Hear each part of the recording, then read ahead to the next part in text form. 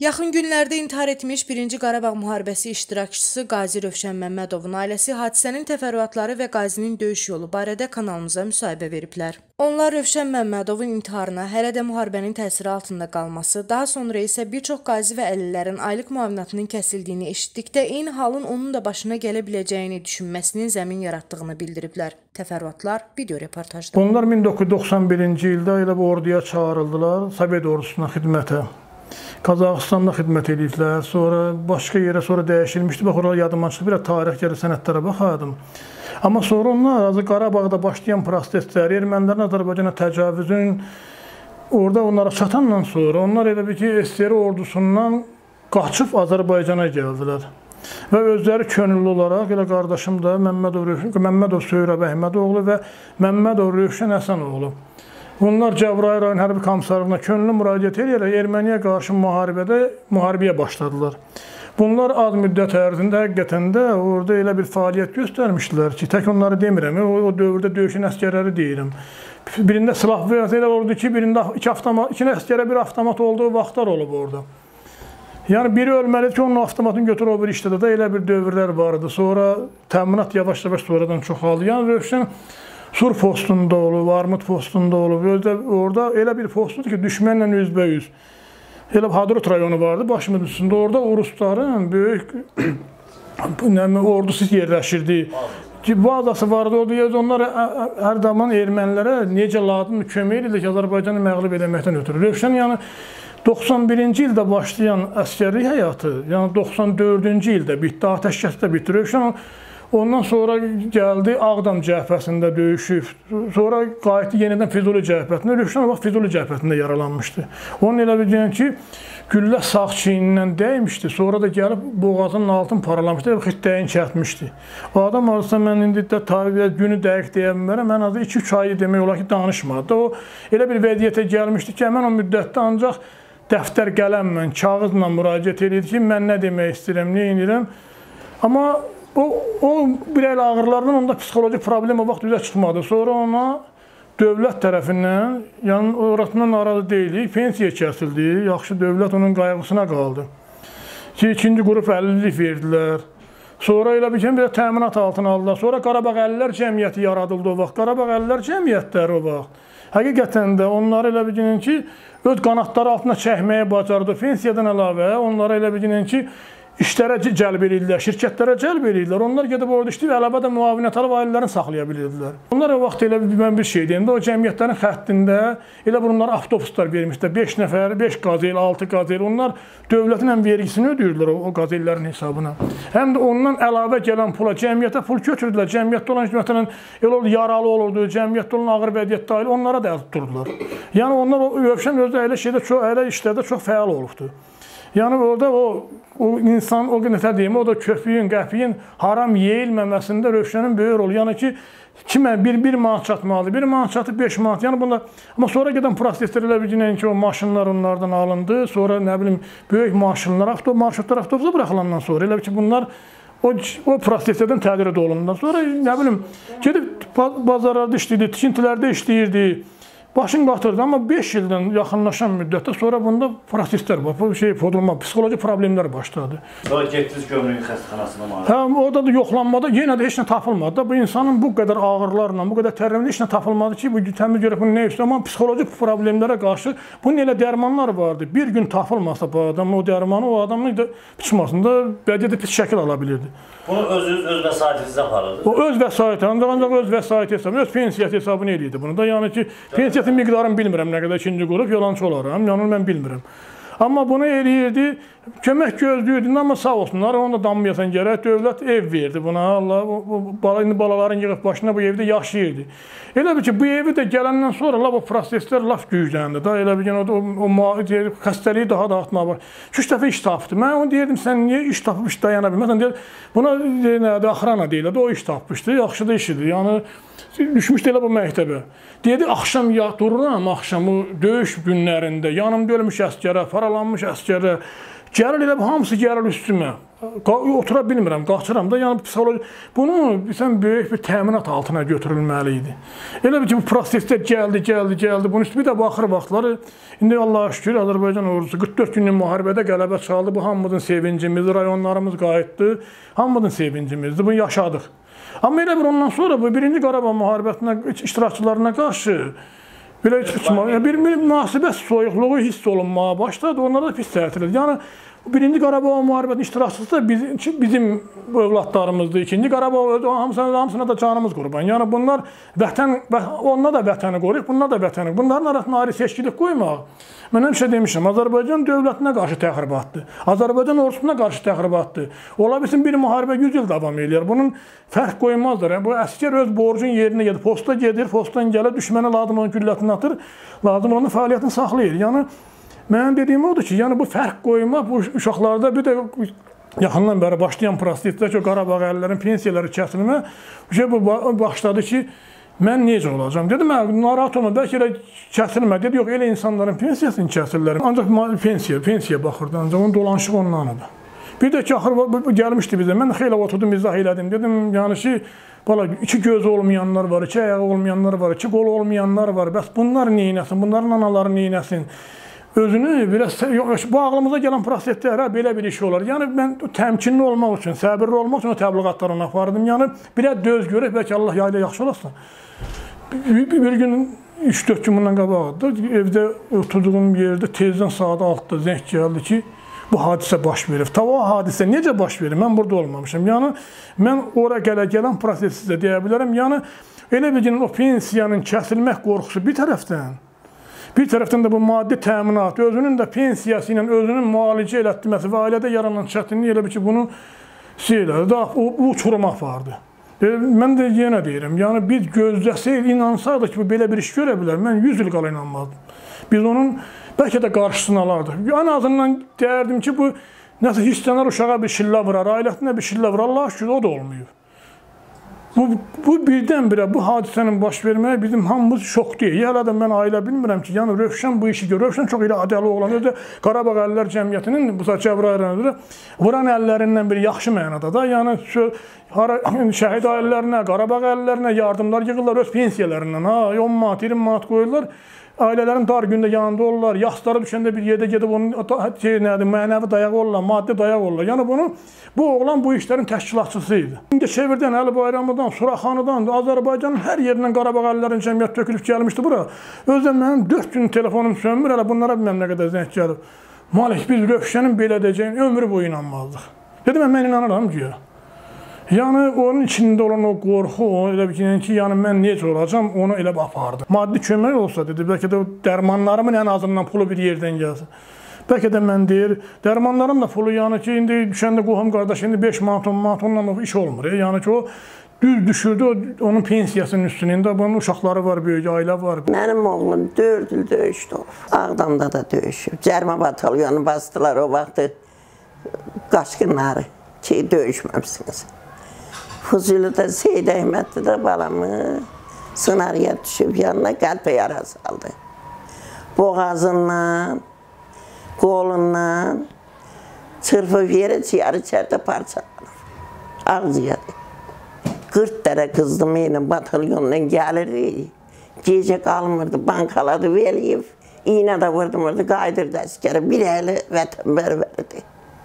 Bir əli vətənbərvərdi. Biz də qayıdırdı ora. Komandir icazə verirdi, yenə o gəlmirdi evə. Balam hələ qəhrəman balı idi. Gəldi, yaralandı, gəldi Respublikanskiyə. Oradan da sağalandı, Kamsabat oldu, qaldı evdə. Ayın 31-i balasının ad günü idi. Bax, gedib bacısı gildə kabab çəkib, yeyib, içib. Bu da mən getmədim, bunlar getmişdi. Qızım evinə. Gedib yeyib içiblər. Bunlar da götdü, gəldi. Gəldi gecə, deyibdi ki, mənə, mən qalmışdım oğlum gildə. Buna deyibdi ki, mənə yeməyimi ver, idmana gedirəm. Hər axşam gedib məktəbin yanları vurranıb gəlirmiş. Bu da deyib, yeyib, deyib, gedirəm. 9-un yarısı. Evdən çıxıb. Axşam. Hə. Bu da gözləyib gəlməyib. Bir olub gəlməyib, 12 olub gəlməyib, 11 olub gəlməyib. Hə, zəng eləyibdi, mən qızla yatmışdım. Girmiş yerə yatmamışıq. Bu ev tikini Rövşən gedib idmana gəlməyib. Oğlum da ayaqlarının yüzündə çıxıblar ki, nənəm bilməsin. Gəlinlə gəliblər buyra. Buradan da gedib bu oğlunu alıb yanına, o, o bir oğlum, Elçin. Gedib buraları gəzib, e, axtarıb tapmayıb. Telefonu burada Zariyyətqəyə taxıb. Gedib saat 6-da işıq işıqda burada bir əlil əskər yoldaşı var Qarabağ əlli. Bu gəlin ona deyibdi ki, işəmiyir, Hüseyin axşamdan gəlməyib. Deyib onda mən işə getməyim, qayıdıb gedib Elşəni tapıb. Polis 102-yə zəng eləyiblər, 102 gəlib, gələn kimi də tapıb. Görüb balam oradan asılıdır. Gəlib, balamı tanımayan yoxdur. Deyibdi ki, nə bu? Pagonlu böyüklər deyib, bu Rövşən deyil, Qazi Rövşən. Oradan da şəklin zadını çəkiblər, nə ayrıblar, bilmirəm. Oradan o əskər yoldaşı qalxıb Elşən aşağısından qaldırıb o da oradan kəsib Elşən alıb qoyub yerə. Sonra da gəlib götürüb gedib evə xəbər verirlər, götürüb getdilər, xəstəxanaya aparıblar. Bilməmişəm mən. Bir də bax bu Yeznəm də həmidə qaynım oğludur. Qızımın yoldaşıdır. Zəng elədi ki, baldızına, bibimə demə. Rövşəni rəhmətə gedir. O qədər qışqırdı, baş sənə yürüdü, bəni yürüdü. Mən də bala, hey bala, əlim hara çatır. Oradanca taksini çağırdım, buracan mələmişəm. Gəlib gördüm, yoxdur, aparıblar. Ekspert aparıb. Aparıbdı, analiz götürürlər, ekspert cavabı. Ondan sonra meydi gətdilər, qoydular. Başıma bax, belə faciəli iş gəldi. Balam vallahi adı da Rövşəndir, kör oğlu kimi oğlanı da. De, oğlum da deyin tərifləmirəm, hamı bilir. Heç deputatın üstüne 4000 adam gelmiş. Maşının bürücü buradaydı, bürücü de ümit yazılan yerde. Əlillərin maşını. Mənim balam pensiyasından əlillərə kömək eləyirdi əlillərin xəstə ailələrinə, 92-ci ildə olanlara. Bax, biri Sumqayıtda sinif yoldaşı idi, həmə də heç 40 çıxmayıbdı, 15 gün deyil. Xərçək xəstəliylə öldü. Getdi onun üstü özünü, bax, böyüyünü apardı, 50 mantı, qardaşım oğlu dəlildi. Xalam oğlunun, xalamın əvəzi dəlildi. Apardılar hərə səllimat, qoydular döşəyinin altına, yastığına. Gəldilər, səhəri öldü, səhərdən dəllimat apardılar, verdilər. Mənim oğlum tək uşağını dolandırmırdı, əlilləri də dolandırırdı. Özü də Cəbrayilin Qarabağ Əlillər Cəmiyyətinin mavini idi. İxtiyar bəyin mavini. Hə, onu mən deyə bilmərəm hökumət niyə baxmır, nə qarır baxmır. Heç onun bu önü ölümə heç biz heç kim inanmır da. Yəni ki, bu belə bir hərəkət eləyər. Yəni 20 ildir də ailə qurmuşuq. Yəni onda bir əsəbilik, yəni deyim, nə isə bir də heç dənmək uşağa qarşı heç nə biz yəni mülayim bir adam olubdu. Amma həmişə ağrıyıram, ağrıyıram. Yəni onda sinir problemi idi. O idi ki, ağrılarına dözənməli. Sinir problemi ona o qədər sıxırdı ki, o elə bir ki, hər şeydən bezmişdi. Elə bir ki, həyatından bezmiş kimi. İnanırsınız, öz pensiyasını alırdı, yəni işləyir, işləmirdi. Yəni səhət əl vermirdi, yoxsa iş çox idi ona. Müharibədə, ikinci müharibədə nə qədər uşaqlara produksiya, da bax elə vətənpərvər idi, xoşdur ki, gedə.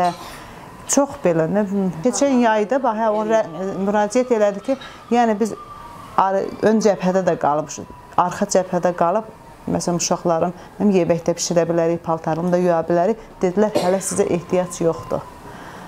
Yəni siz uca qazisiniz də, yəni siz yarımcansınız. Lazım gələrsə siz apararıq. Yəni o, o elə bir vətənpərvər oğlan idi. Heç nədən qorxmurdu bu adam. Sən özün nətər risk eləyəsən ki, gedib özü asasan.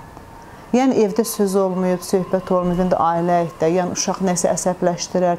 Elə bir şey qətiyyən olmayıbdı. Hə gəldi, bütün həkimlər ona dedi ki, biraz kökəlmişdik, get idman elə. Sabah gedədi, səhər-səhər idmanını eləyirdi. Günorta yeməkdən sonra yəni dedilər ki, uzanma da divan üstündə. İş yox, otururdu evdə. Yəni iş var idi, özü işləmirdi, deyir, səhhətim əl vermir.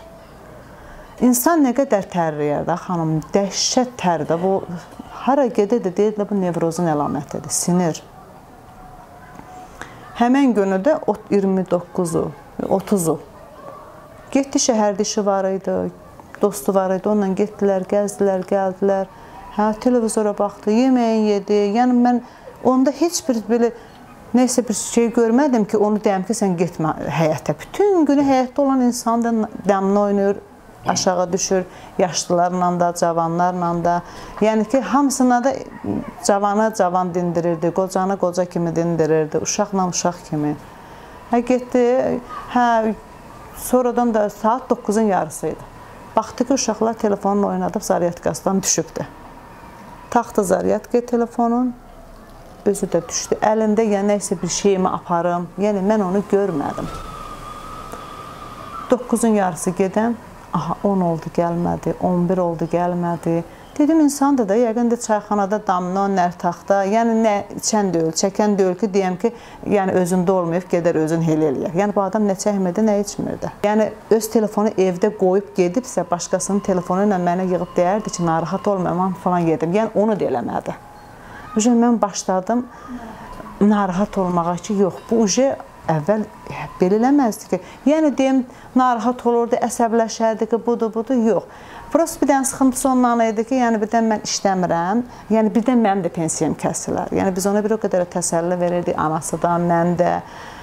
Oğlu 11-ci sinifdə oxuyur. Deyirdi ki, məsələn, kəssələr mənim oğluma nətər hazırlığa qoyacağam. Ona görə. Yəni kəsmədilər. Yəni biz onu təsəlli verirdik, hələ kəsmirlər ki, sən özü belə narahat olursan. Elə yox, yox, fikir, yəni fikrindən onu çıxarda bilmədik. 9-un yarısı, hə, mən gedirəm idmanımı eləyəm, gələm. Burada məktəb var, onu kuruq vururdu. Yəni idman zalına zadına getmirdi. Hə, gəlmədi. Birin yarısına qədər mən çayxananın bağlandığını gördüm ki, burada yəqin ki, çayxanadadır. Gəlmədisə mən qaynıma zəng vurdum. Qaynım şəhərdə olur, Çermentdə. Da narahat oldum ki, yəni qorxumdan bir qonşunun da qapısını döyə bilmədim ki, qonşunu narahat eləməyim də. Bəlkə gələr acığı tutar ki, sən hay salmısan. Dedi, qaynama zəng elədim. Hə, qaynım da gəldi, buraları gəzdi, axtardı. Dedi, bə biz 102-yə, dedim 102-yə dedi. Bu insan qalan deyil. 102 də gəldi, dedi ki, bunun telefonuna da axı heç kim buna zəng eləməyib, bundan zəng gəlməyibdi ki, bu zəngə dura gedə. Heç telefonunda heç nə olmadı buna. Sonra qaynım dedi ki, gözləyək də, polis deyib ki, səhər açılsın. Bəlkə indi ürəyi tutub idman eləyəndə. Keçiblər evin binanın arxasında görüblər ki, oradan göydən asılıdır. Heç cürə biz onu təsəvvür eləyə bilmərik ki, bu boyda heç nədən qorxmur, e, heç nədən qorxmurdu bu insan. Bu insan ni nə, niyə belə eləsin ki? Yəni səbəbi bilinmədi. Hamımız şok vəziyyətdir. Mən hələ də baxanım, baxıram ki, hardansa indi gələcəkdi. Ha vaxt indi kişilərin içində otururlar da, indi yaşlılar. Deyirəm ki, bax, indi yəqin ki, onların içində oturub nərtaxtadan zaddan damını oynayır. Amma ki, görürəm ki, yox. Yəni bu o qədər ailə canlı, uşağına bağlı adam heç bir yerdə qalmazdı. Sən bunu nətər risk eləyə bilərsən ki? Gecəni yata bilmirəm ki, yəni inana bilmirəm. Ki bu uşaqlarından bir dəqiqə sən aralı durmayan, durmayan Rövşən sən get özə belə intihar elə. Yəni bütün qonşular, xanım hamısı elə bir ki, deyirlər bu oğlan, yəni qədər hörmət qazanmışdı. Yaşlıları, balacalar, cavanlar ki, yox, yox, oğlan ola bilməz. Biz o oğlanda, yəni həyatda hiss eləməmişik ki, bu oğlan belə bir insandır. Yəni ki, nə indi deyirlər ki, hə başında nəsə pozğunluğu varmış. Çox müəmmalı, çox müəmmalı. Yəni ki, Qeyd edək ki, Kanal 13 səsləndirilən fikirlərə görə məsuliyyət daşımır.